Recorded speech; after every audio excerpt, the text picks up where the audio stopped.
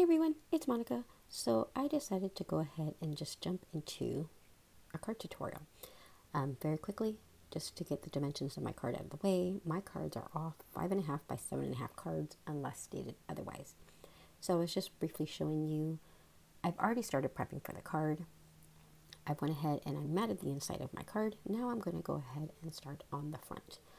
I'm using my Nuvo Deluxe adhesive, one of my favorite adhesives, along with the Art Glitter um, Designer Dries Clear Glue.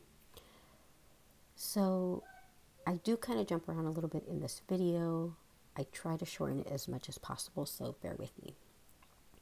So here I have a 5x7 panel that I've gilded the edges to.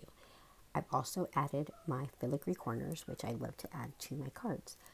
I had originally done the start to finish on the gilding, but I was actually doing it live and I stopped it too early by accident because I got a phone call. So, whatever. Um, it's nothing new to the gilding technique. If you are interested and you do want me to do it on camera again, um, I could do another tutorial for a future card with gilding. So here I'm just adding some dimension to the panel. I want to go ahead and pop it up on dimensionals.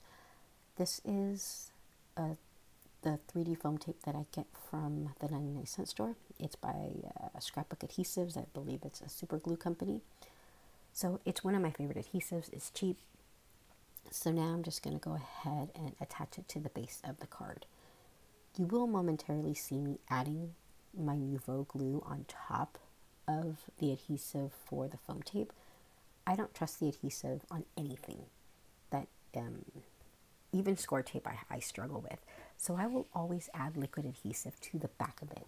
Um, I do tend to add a lot of weight to my cards and I don't want my cards to fall apart. So I add additional adhesive. Um, and sometimes with the liquid, it also helps me shift it around if I need to. So that's essentially it. I'm adhering the panel down. Here I have the Priscilla die from um, a Sue Wilson collection that I die cut and gilded.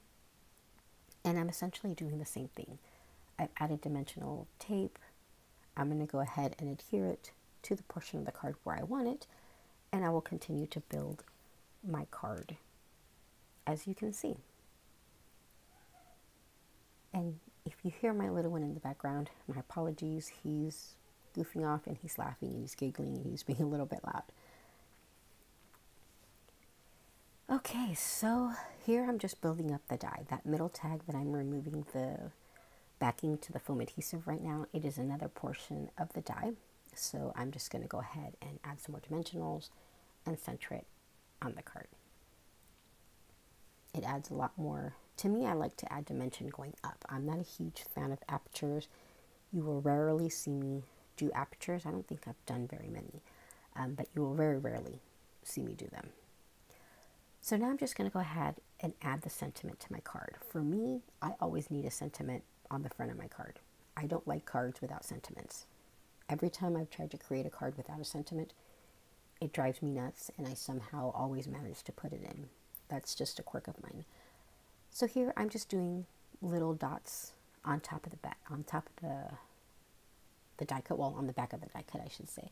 It's a very thin, delicate die trying to run adhesive over the entire thing will take too long, it'll get messy. So a good rule of thumb is just be quick and put little dots on the back. The panel that you see me adding it to, it's a one inch wide strip. Well, I should say tall. Um, and now I'm just going to go ahead and freehand flags on each end of the panel itself. I like to do um, flags for majority of my sentiments. So that's what you see me doing here. And then I will go ahead and I will adhere it to the top of the frame that I put on the card. And if you guys aren't familiar, I love the color black. Majority of the times you will see 99% of my projects will have black somewhere on it. I think it makes all of the colors pop regardless of what it is. And I am a dark color fan. I love dark colors. So really quickly right now, what I'm going to go ahead and do is I'm jumping to just a quick little uh, show of how I'm shaping the petals. I'm not going to go ahead and assemble the entire flower from start to finish in this clip. This is just showing how I add a little bit of dimension to this particular flower. I'm not a huge fan of shaping tools and spending a whole bunch of time creating flowers. So, but for this one specifically, I do like to curl up petals a little bit. So as you can see, I have it on like a foam mat and I'm dragging my tool from the outside of the petal inward to give it that rolled up, um, cupped up look. And I'm not quick about it. The next step that I do is the same step that I do for all of my other flowers. I take my tweezers and I pinch each petal up and that will get, give it a little bit more oomph. Um, with this particular flower, it does have two slits in the center of each petal. Um, so you do want to be careful when you're folding it up. You could, you know, if you don't pull out your tweezers gently enough or your tool, you could tear them a little bit more. So this is essentially all I'm going to show you when it comes to the flower. And then I'm just going to go back and show me adhering all of the stuff to the card. So here you see them assembled. Um, I stagger the petals for each one and I put my filigree flower center in the middle. Here are all the other little pieces that I used. I will be showing you all of the products that I use at the end of the tutorial. So if you're looking for specific names, parts, all that good stuff, it will be at the end. I will also list all of the dies that I used in the products by company, if I use a particular color or dye, and the item number if I have it. It will all be in the description box below. So for me, I tend to like to add my flowers in odd numbers. I have had a few cards where I do do even numbers, but to me, it just it's not aesthetically pleasing for me when I use even numbers. So I will typically always use odd. I'll use one, I'll use three, um, and that's typically my go-to number when it goes to flowers, either one or three. I've occasionally ventured off into four.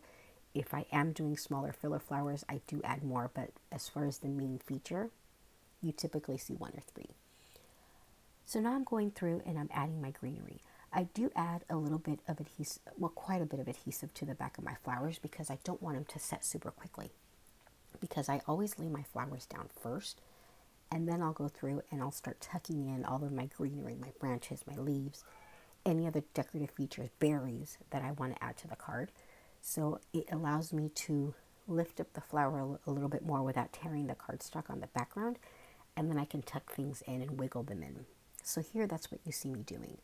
I'm tucking in leaves, the elderberry little flower branch thingamajig die that you see. And you can see me fiddling back and forth with them. I'll put them in with my tweezers and then I start maneuvering them and pushing them in a little bit further. Um, one thing that you see me constantly doing is I'm constant, constantly rotating my card. I rotate my card or whatever project I'm working on to make it easier on myself in the angles that I want to go ahead and adhere or add whatever it is that I'm doing. Sometimes if you're trying to go over, you know, it's it just works for me. I know I've had people comment in the past. They're always always asking, "Why are you constantly rotating your projects when you can do it in one particular manner?" Uh, I don't like to overreach too much. I make it easier for myself.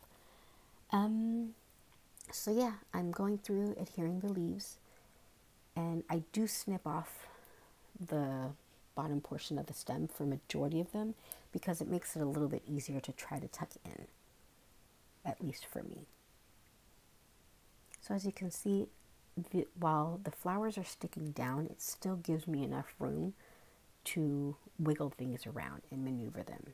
That is one thing. I while I love fast setting glue, sometimes it's not ideal in case you work like I do and you want to go ahead and still fidget and maneuver and move things around. A lot of people will put down their greenery first and then add their flowers on top. I'm complete opposite.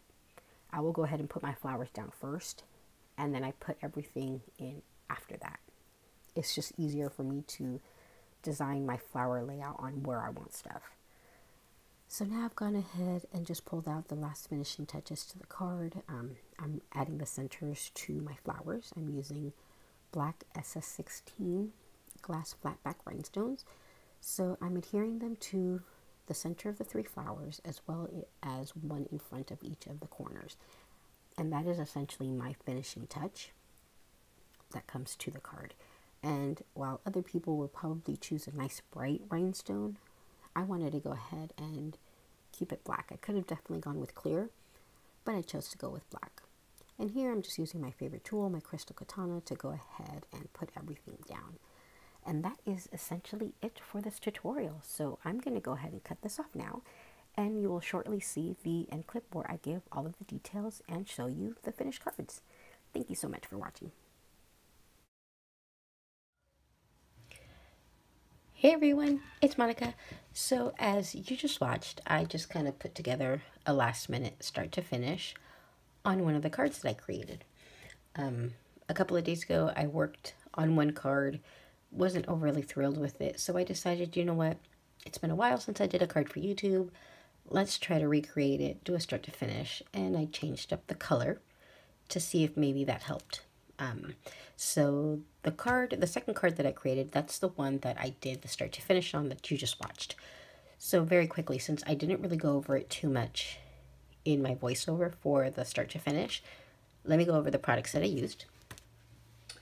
For the dies, for the dies, I used the Sue Wilson Mini Expressions in Wishes Come True.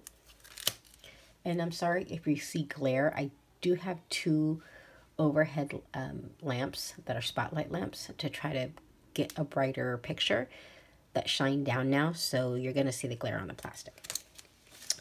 We have the John Next Door. door. This is the cornflower die. I did do a flower feature series video on this, so I'll link that in the iCard in right here in the corner. In that one, I also do show how I assemble the flower. In the tutorial, you saw that I just kind of briefly went over part of how I shaped the petals, but I didn't do the complete assembly from start to finish since you've seen it before. So if you're interested, if you haven't seen it, it's in the iCard that you just saw. Okay, so then also I used the John Next Door we have this die. It is the elderflower. We have an uh, oldie but goodie CheeryLynn rose leaf strip. And CheeryLynn is no longer around. They changed to what Makers Mark, Makers Movement, Market Movement. I don't know. They changed their brand. This might still be around. Um, or is it Movers Market? I can't remember, but they rebranded. This might still be around because they did keep some of their older dies. Uh, next, I use one of my newer Sue Wilson dies. This is the Frames and Tag. This is the Priscilla. I believe this came out in her October release. And last but not least, my double pierce background rectangle. I use the second largest to go ahead and do my matting. So let me get these out of the way. A few other products that I used. double-sided adhesive for the gilding. This is the six inch roll. And this is Elizabeth Craft um, Designs double-sided adhesive, but you can use score tape, any double-sided adhesive that you have, you can use. So I used that. Gilding flakes I also used for the maroon card. I used the Mulled Wine, and this is by Cosmic Shimmer. And for the white and black one, I used the verdigris. My adhesives that I used, Nuvo Deluxe Adhesive, and, what is that on? And this little bottle which has glossy accents inside. So those are my adhesives, and these are the other products. So let's go ahead and start off with the first start, the first card that I created that I did not do the start to finish. This is the first one that I did. Um, this is a standard card by me, which is a seven and a half by five and a half card. So here is what you have. Um, while I, I don't love this card, I don't hate it, but I also don't love it. Um, and I wasn't exactly sure what it was about the card that I did not like. So I decided to change up the colors because a lot of the times I might like the design, but the colors just don't work for me. But as you can see, here's where you have the double pierced matting rectangle. It's adhered directly onto the card base. And before I get to it, all of the cardstock except the gold foil is all Recollections 110 pound. Um, the gold foil is 90 pound bright foil. I don't remember the maker, but I purchased it from paperandmore.com. So The maroon cardstock mat is adhered directly onto the base. This here um, is adhered directly onto the mat base, and this is my gilded panel. I have a black strip uh, across the center. And then I went ahead and I popped up the Priscilla tag, the base layer, on dimensionals on top of the gilded background. The middle portion of the die also is popped up on dimensionals on top. And then I just have a banner that I free-handed. I just cut a one inch strip and free-handed the flag ends. And I adhered my May All Your Wishes Come True sentiment right on top. Here is where you have the cornflower, have a couple of different layers. The rose leaves are tucked in right there. And then you have the elderberry flower. All of the rhinestones are black glass flatback rhinestones and they are in SS16. Here we have my signature metal corners right there.